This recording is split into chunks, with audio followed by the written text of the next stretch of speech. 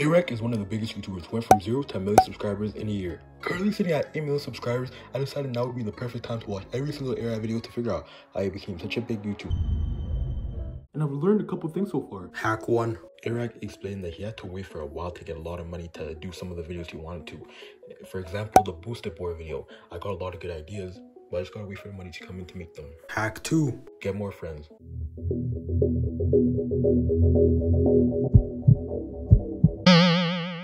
Seriousness, in all the Airrack videos I saw in the early days, he had a different friend hopping in every single video, adding to the storyline. What he said. I'm leaving. Oh! Now I ain't gonna lie to you. I was just thinking to myself, damn, Airrack didn't get his uh freaking uh, classic intro yet. I'm leaving. And then he pops out of nowhere with this back in 2019 is crazy. Keeping the brand iconic. In the first couple of Airrack videos, the only thing he was missing was a storyline to keep me intrigued. But then in the booster board, he not only came through with a fire storyline, but also a good voiceover style. So in today's video, I'm going to be trying to replicate Airrack's style of voiceovers. Around video 9 and 10 is where Airrack did start sneaking into places, which in my opinion is where he blew up. But this did reveal a couple other hacks to me. Hack 3. Trend jacking. Now it seems like a self-explanatory thing, but if you find something like viral at the time, it makes it into a great video. Airrack moved into another trend. Cybertruck. And that's another part too. When you're making a video, you gotta make it into a series as well. Hack 4. Now there are a lot of sources teaching you that your intro has to be fast and snappy and to the point. But as you can see in some of the Airrack videos, So there I was, quarantined, alone, scared. I, I mean, I wasn't really scared. I was just quarantined. all of his intro just leads you into the story. Some of them are slow, some of them are fast, some of them are quick. They lead you into the same story. Now what I've noticed from watching all these Airrack videos is he got the classic I'm leaving. Nowadays, he just does the I'm leaving and then the video ends, right? But in the old ones, there just used to be some random clips of him like on a longboard or a hoverboard. Does that mess up your retention, Airrack? Let me know in the comments down below if you're watching this. And once again, we're about six hours in and only 37 videos out of 119. This isn't going too good. I think we're gonna be here for a bit longer than 10 hours. Yo, this video was uploaded on December 14, 2019. 378 views. Damn! Another crazy thing Airrack did show us in his videos. Analytics. Back in the early days, he had 32% retention. Airrack really was a small YouTuber at one point in time, bro. This is crazy to see. July 2nd, 2020, rose at 400,000 subscribers.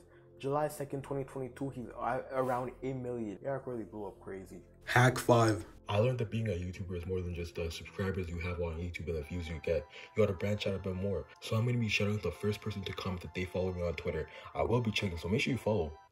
I won't even lie to you, I've been enjoying these videos so much lately. The last five videos I did have been like some of the greatest ideas I've ever seen in my life, bro. This guy made a fake Cybertruck, making a bed with wheels on it. The, the journal when making his own pizza shop at his house, that was a great idea. And now since Airrack's always talking about pizza, I decided it'd be the perfect time to go make some. Immaculate! And I think I figured out how to become the biggest YouTuber out there.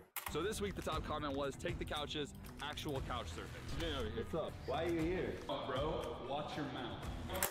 This guy Eric Decker came back to Jake Paul's house after getting knocked out. This guy has way too much confidence, and I think that's how you become the biggest YouTuber out there. You need more confidence.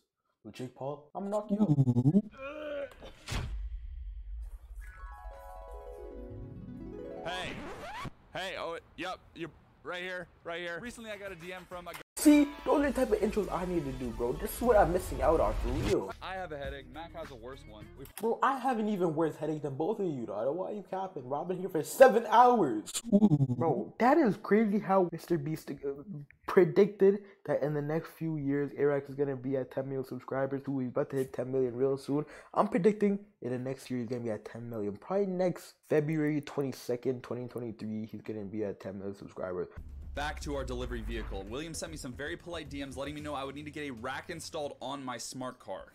A rack! I'm watching a rack video whilst he needs to install a rack on the top of his car to put the pizza on a rack. Hack 6. I found something else very interesting about Airrack's content. If we go down into the description, I've literally been seeing this a lot, but he usually never has anything that's actually like has to do with his videos. You know, a lot of people say describe the video in the description. That's how it blows up. YouTube use the first three words in the description to figure out how to promote the video.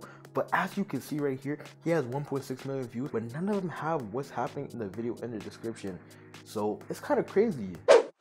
This I'm way gonna be sit on the island, on an innit? abandoned island until we course. reach 1 million subscribers. I will literally die on the island before we don't reach a million. We've worked too hard. You, me, Mac, me. We've worked so hard this year. You guys say it all the time. Why does this channel not have a million subscribers? Let's You guys say it all the time. This channel's so underrated. You're underrated. Why are you not bigger? Subscribe. We're getting so close to the end. We got about 30 videos left, but then the unthinkable happened. It was 1 a.m. and I was more than 13 hours into the video, and my internet stopped working on my computer. Nah, not right now, fam. Oh my god. I thought it was over, I remembered all the challenges I failed on this channel. I couldn't fail another one. I had to pull out my phone and power through the rest of it. I was slowly going insane and trying my hardest not to fall asleep, but eventually made it to the end. Throughout this video, I not only watched Airrack's journey from 0 to 8 million subscribers, but I also watched him go from 8.71 million subscribers to 8.73 million subscribers live on stream. I ain't gonna lie to you, this was kind of pointless though. I'm just gonna enjoy career now.